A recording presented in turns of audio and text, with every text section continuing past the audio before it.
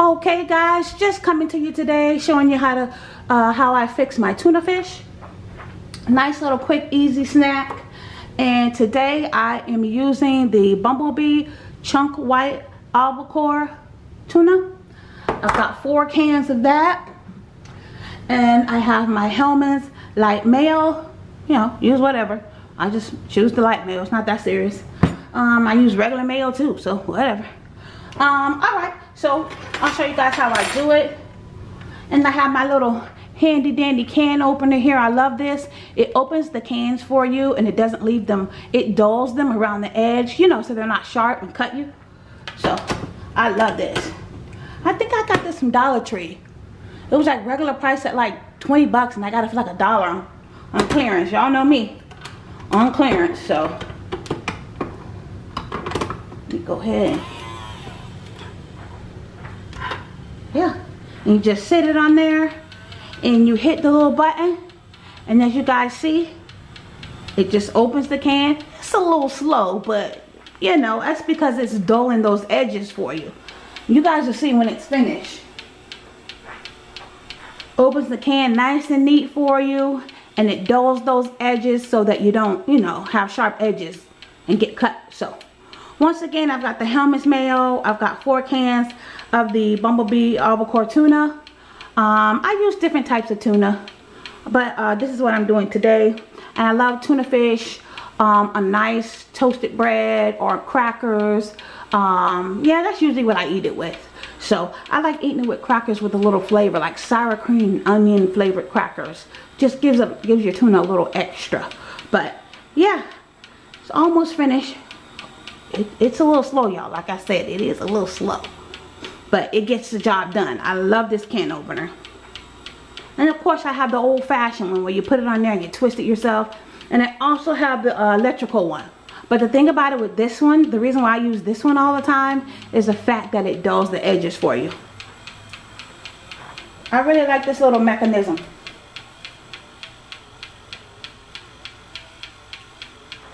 Alright. So, you guys, uh, the can, look at the can, how dull it is. It dulls it around the edges for you. See? See how I'm touching it? Because it's dull. It dulls it around. This is a pretty cool mechanism. I don't, I don't know where you can get it from. You probably order it from Amazon. I know I love it. So, let me go ahead and get the rest of these cans open, guys. And I'll be back to show you how I prepare my tuna. I'll be back. Okay guys, I'm back. And you know what? I figured out what was wrong with my can opener. The battery was going dead, so that's why I was moving so slow. But anyway. Alright guys, let's go ahead and get this tuna fish done. Uh, let me see. You guys can see. Alright. So, I've got my four cans of tuna. I, I do drain the extra um, water off my tuna. I don't like it watery. Some people do, some people don't. Tomato, tomato, whatever you like to do. So go ahead and get all my tuna out. Get all four of my cans here. And I like the albacore. It just has a nice, fresh sea taste. If you know what I'm talking about. It's got a, like a nice, fresh sea taste. I just love it. It's, it tastes like fresh, fresh fish. You know, fresh tuna. That's what I like about the albacore.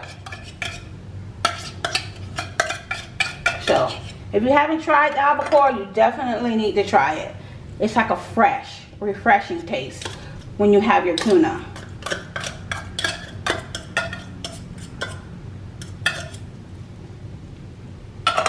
Now, if this was just for me, I would add boiled eggs. But, you know, my daughter's going to be eating it. They don't want the boiled eggs in it. So, we won't be adding boiled eggs. I just wanted to put that out there. I do put boiled eggs in my tuna.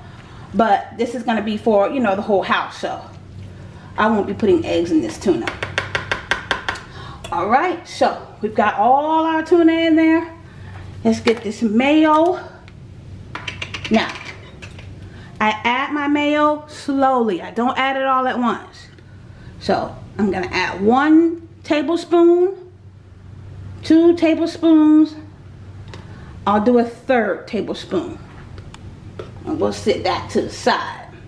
Now, let's go ahead and get it mixed in.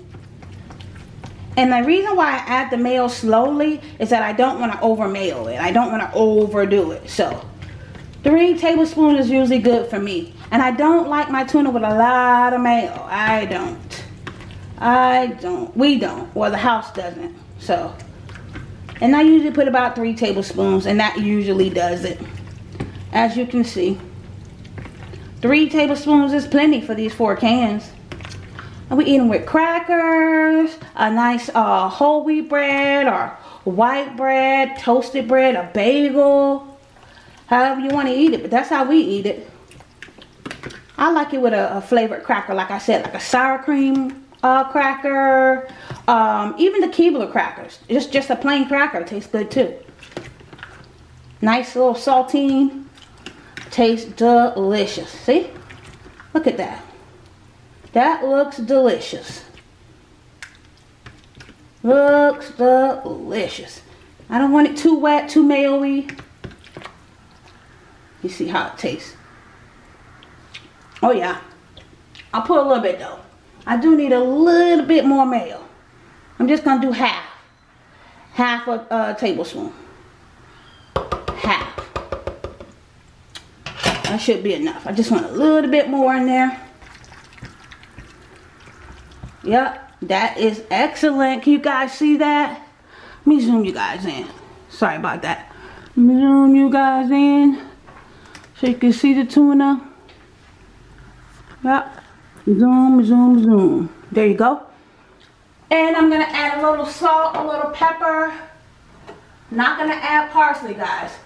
This will probably be the only time you don't see me add parsley. I, I don't really put parsley in the tuna. A little salt.